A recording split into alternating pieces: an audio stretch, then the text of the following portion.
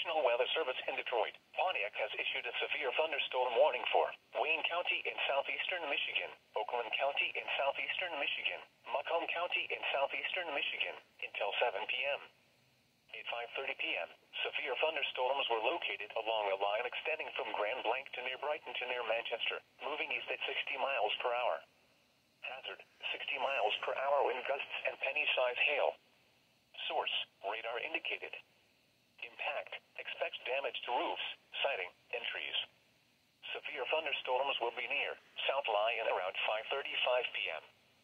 Milford and Ortonville around 5.40 p.m. Novi around 5.45 p.m.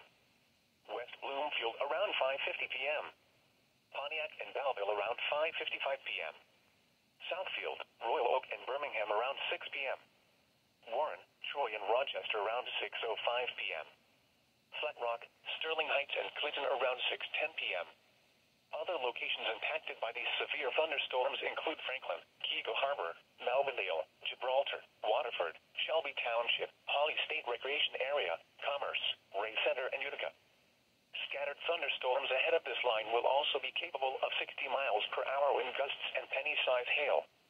Repeating, a severe thunderstorm warning has been issued until 7 p.m. for the following counties in Michigan, And Wayne.